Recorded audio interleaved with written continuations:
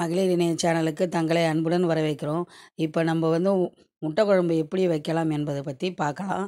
அதுக்கு முதல்ல அடுப்பில் வானலை வைத்து ரெண்டு வெங்க பல்லாரி வெங்காயத்தை அரிஞ்சு அதில் போடணும்.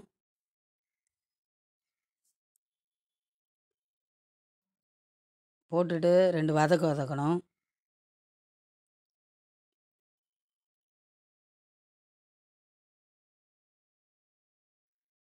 பிறகு அதில் தேவையான அளவுக்கு எண்ணெயை ஊற்றணும் மறுபடியும் வதக்கணும்.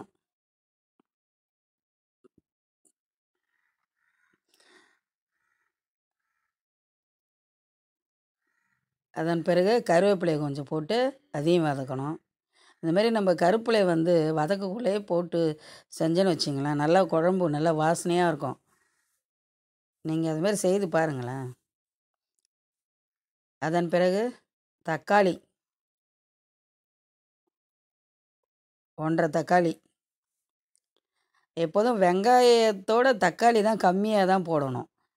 வெங்காயமும் தக்காளியும் ஈக்கல் அளவாக இருந்ததுன்னு வச்சுங்களேன் புளிக்க ஆரம்பிச்சிடும் நமக்கு வந்து பிடிக்காது அந்த மாதிரி செஞ்சால் அதுக்காக நம்ம எப்போதும் வெங்காயம் இப்போ வெங்காயம் தக்காளி வதங்கிடுச்சு. அடுத்தது துருவின தேங்காய் அரை மூலி அளவு போட்டு அதையும் ஒரு வதக்கு வதக்கணும்.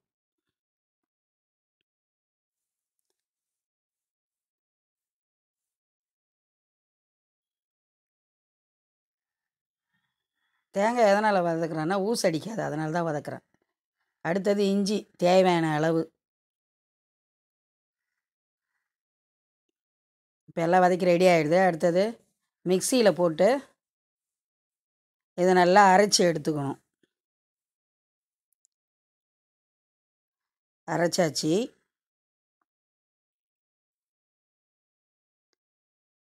இப்போ மறுபடியும் வந்து அடுப்பில் சட்டி வானலை வைத்து அதில் தேவையான அளவு எண்ணெயை ஊற்றணும்.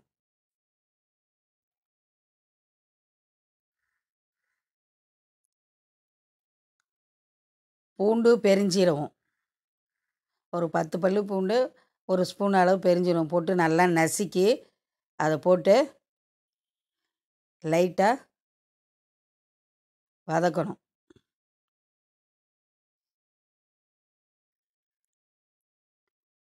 பெரும்பாலும் நம்ம அசைவம் செய்கிறப்போ பூண்டு பெருஞ்சீரகம் எல்லாம் போட்டோன்னா அந்த கவுச்சி ஸ்மெல்லை வந்து எடுக்கும். அதுக்காக தான் நான் எல்லாத்துலேயும் வந்து பூண்டு பெருஞ்சீரகம் முக்கியமாக போடுறது. ரொம்ப கவுச்சி அடிக்காமல் ஒரு அளவாக இருக்கும்.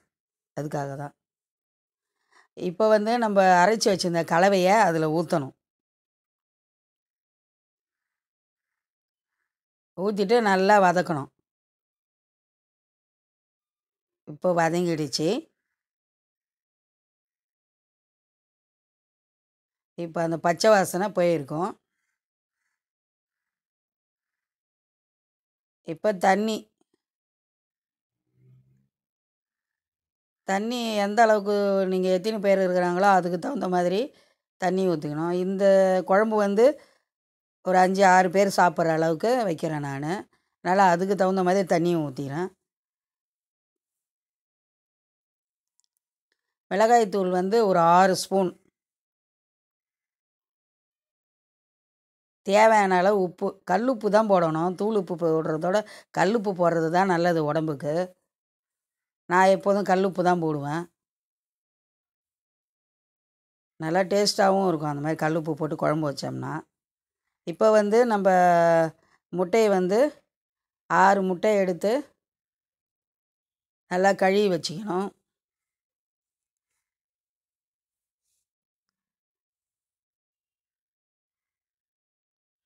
குழம்பு நல்லா கொதிச்சிடுச்சு.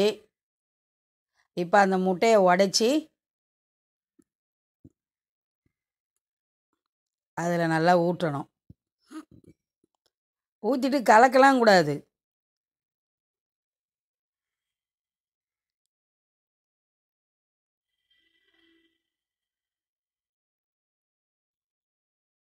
உடச்சி ஊற்றிட்டு இப்போ குழம்பு நல்லா கொச்சிடுச்சு இப்போ பாருங்கள் முட்டையெல்லாம் எப்படி தனித்தனியாக அழகாக வருது பாருங்கள் நம்ம கலக்கி விட்டோம்னா எல்லாம் வந்து உடஞ்சிடும். அதனால தான் வந்து அப்படியே ஊற்றி நம்ம இதை வேக வைக்கணும்.